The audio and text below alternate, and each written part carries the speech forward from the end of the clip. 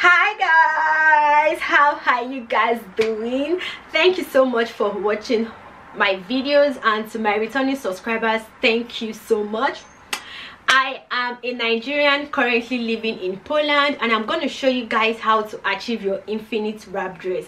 This is one dress that you can wear to any event and you can rock it in different ways. So we have about five to seven ways in which you can rock this dress which at the end of this tutorial i'm also going to show you guys how you can rock this dress. So all you have to do is to stay tuned to the end. In the course of this video if you have any questions please go ahead and drop your questions in the comment section.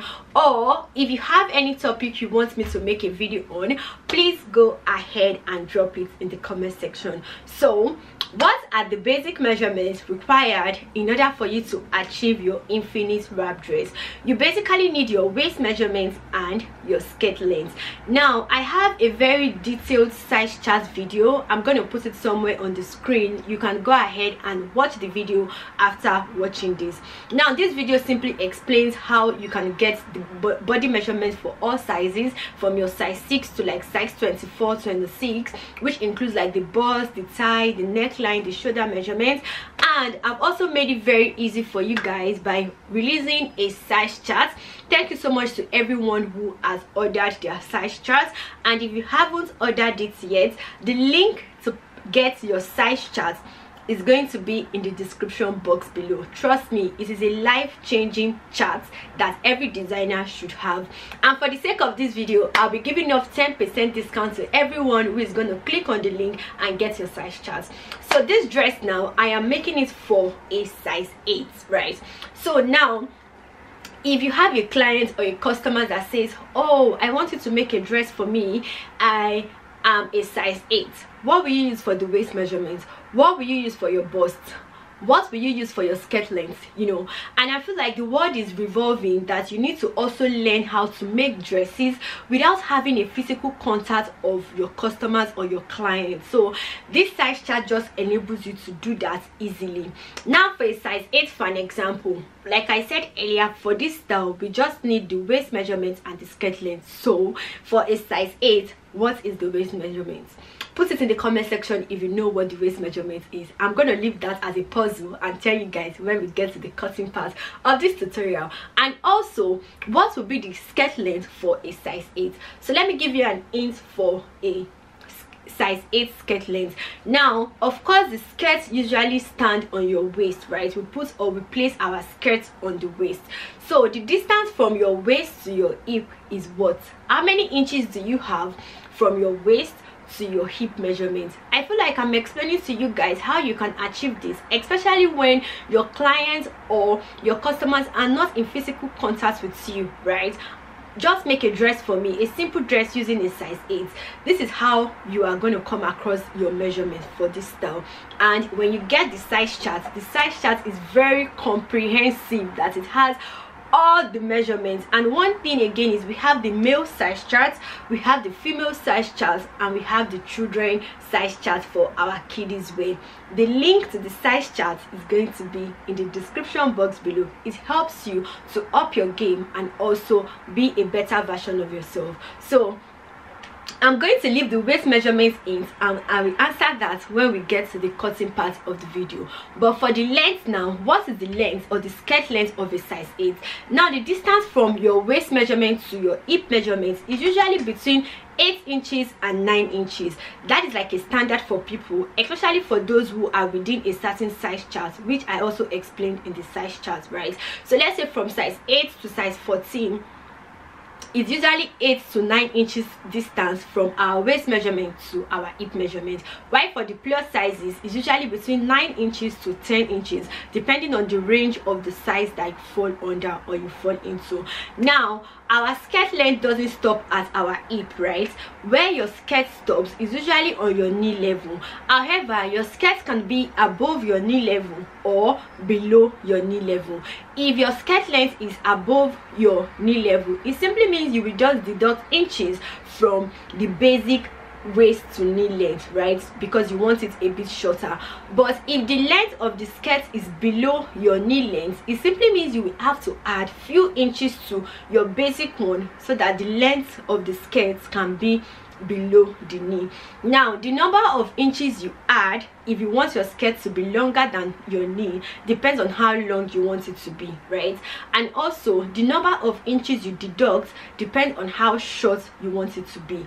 Now when it comes to the long skirts like a long skirt that gets to the floor that also depends on the height of the person. Now for your height in the size chart i also explained how to use your height to get a gown length. When i mean gown length i mean like the one that gets to the floor. I also have that explained in the size chart. And you can also follow me on my social media handle. My instagram my tiktok and my facebook has the same handle. On the screen you can also send us a message to get the size chart directly from us.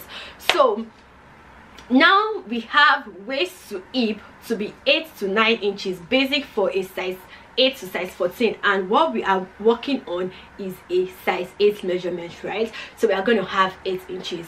You can say 8 you can say 8 and a half you can say 9 it falls within that range depending on how you know the shape of the back side is. Okay. Now from our waist to knee length within those size range is also 17 to 18 inches. Our waist to knee length falls within 17 to 18 inches. Waist knee length 17 to 18 inches. So if i want it very short it simply means that my gown length could be 15 inches or 16 inches. If i want it to be long it simply means i can do 20 inches or 22 inches or 24 inches. It all depends on how long i want it to be or how short i want my skirt to be from the basic one. I hope in this video i've been able to also explain and to guide you on how to achieve certain measurements especially when you are dealing with just size charts alone. So the basic measurement for this dress is our waist measurement which i'm going to tell you when i'm cutting. And also if you know that in this point for a size 8 what is the waist measurement? Put it down in the comment section. Why for the length? I've also explained how to achieve the length. So just in case if you don't have a physical contact with your clients you know what length to use for the skirts right? You know right? You know because i've explained that. So i'm going to be making use of 20 inches for my length because i want it to be a bit longer than the basic um than the basic which is 17 to 18 inches. If i want it shorter i can use 15 or 16 inches. It all depends on me. So if you have any questions please go ahead and drop your questions in the comment section. Or if you have any video you want me to make go ahead and drop it in the comment section. Thank you so much. Now let's move to the cutting part of this tutorial. And don't forget to give this video a thumbs up like share and subscribe. Trainings are available. We have online trainings and also physical trainings. All the details are below the description box or you can send us an email or a message on our social media platform on the screen. Now let's get to the cutting part of this tutorial so guys i'm making use of this african print for it and if you got it right in the comment section just let me know. So the waist measurements we have is 28 inches right? So i'm making use of 28 inches for this um pleated skirt pleated infinite wrap dress right? So we have 28 inches. Now how will you know the number of you know the number of inches to use to be able to achieve your pleated effect or your gathers effect? It all depends on what you want. Now all you have to do is to multiply your waist measurement by three or you multiply your waist measurement by 2.5 so let's say you really don't want it to be that full or you're working with limited amount of fabric all you have to do is to multiply your waist by 2.5 inches. But if you want it to be very full and if you have sufficient fabric you are working with then you multiply your waist measurement by 3 it gives you like a very full effect of what you have okay so my waist is 28 inches. I'll go ahead and multiply my waist by 3 i have 84 inches. Let me know if you got the waist measurements in the comment section and i'm making use of this fabric. Now for the length of this fabric so you've agreed with me that for the wideness of this fabric we'll be making use of 84 inches. How did you come across the 84 inches? All we did is we multiplied our waist measurements by 3 like i said you can multiply it by 2.5 or by 3 inches. It all depends on how full and also the fabric you are working with. So for the width of this fabric now we have 84 and for the length of this fabric i have 20 inches for my length i also explained that there are basic or standard measurements that we have. However if you want yours to be longer or shorter you go ahead and add or deduct inches from it. So i have 20 inches. The basic um, waist to knee length is between 17 to 18 inches. I have 20 inches which includes my two inches sewing allowance. So don't forget that the standard measurement doesn't include your sewing allowance. So you go ahead and add your sewing allowance to it so if i have 18 inches plus 2 inches for my sewing allowance i have 20 inches.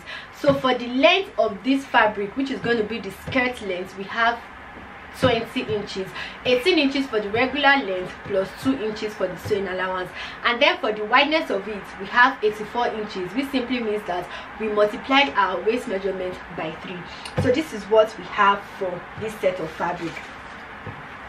Now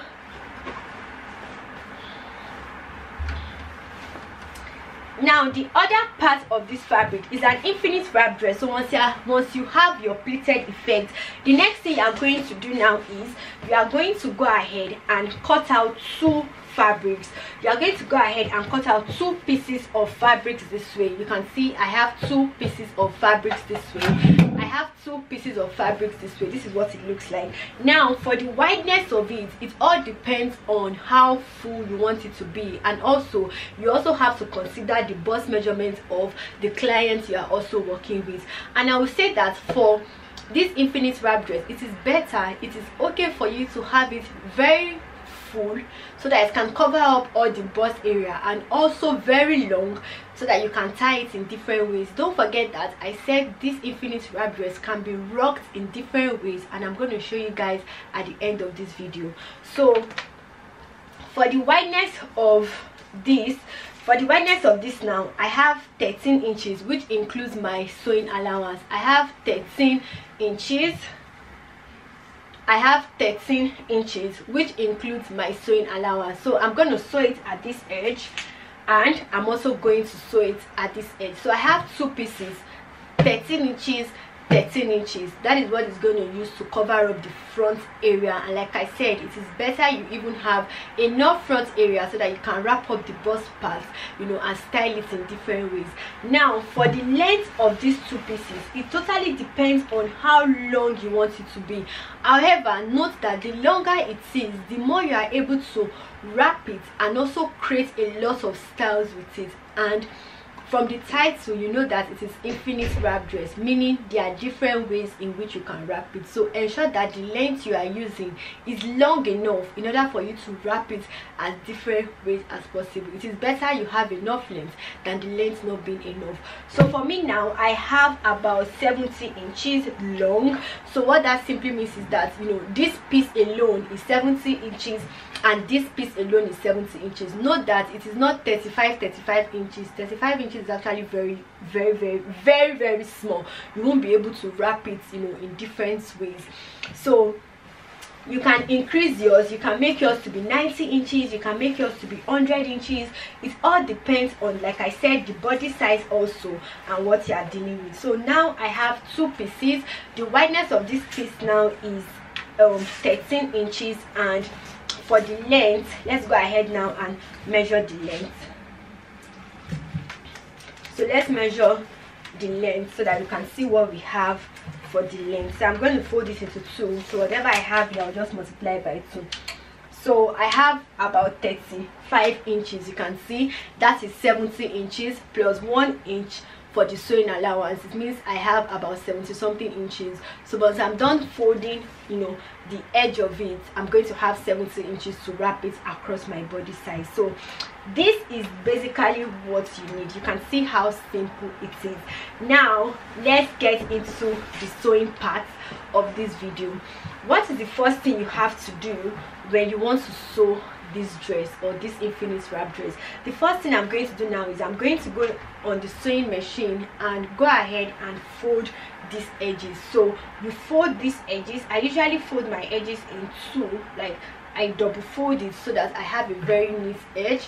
So i'll go ahead now and fold this edge. I'll also go ahead and fold this edge also. So we are simply folding this edge of the wrap and also folding this edge of the wrap. So you do that for the two pieces of your wrap. Now another thing also is this is our skirt or the fabric we are using for the lower part which is the skirt. What you have to do now is also to go ahead and fold the lower part of this skirt right? Fold the lower part of this skirt. So this is what we have. So i'll go on the sewing machine now and do that and show you guys what we have. So another thing we have to do is to go ahead and cut out our band. So our band our waist is 28 inches so we have 28 inches plus. I'm adding two inches for the zip allowance. It simply means i'm going to have 30 inches so for the wideness of the band it totally depends on how wide you want your band to be. So you can make mine is three inches. You can make yours to be four. You can make yours to be two. Maybe you want a tiny band. You can use two inches. If you want a big band you can use three. You can use four inches. It depends on you.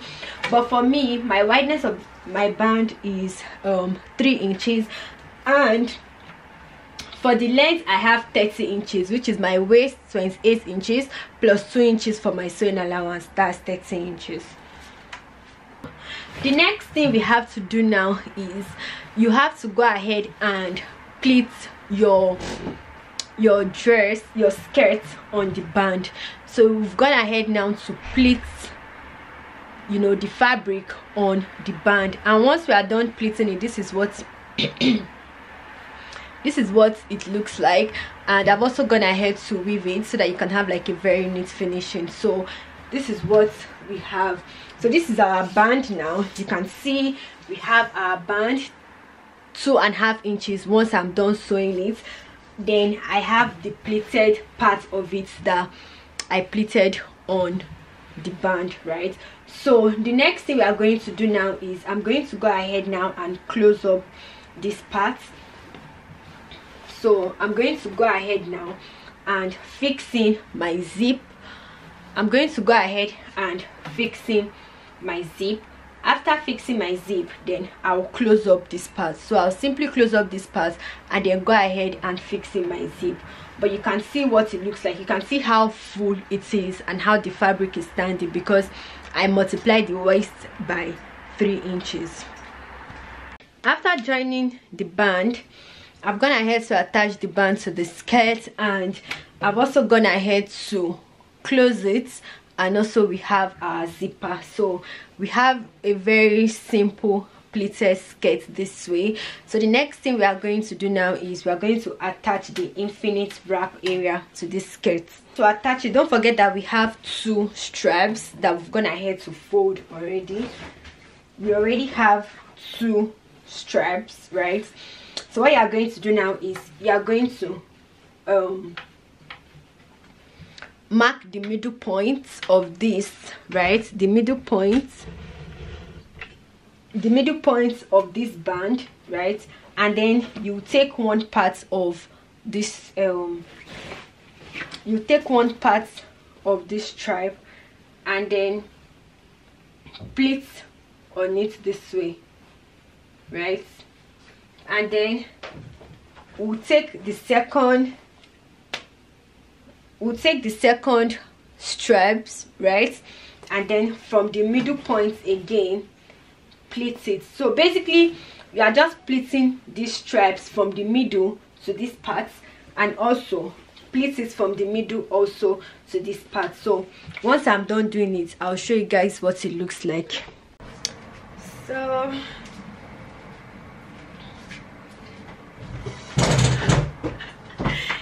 okay this is what it looks like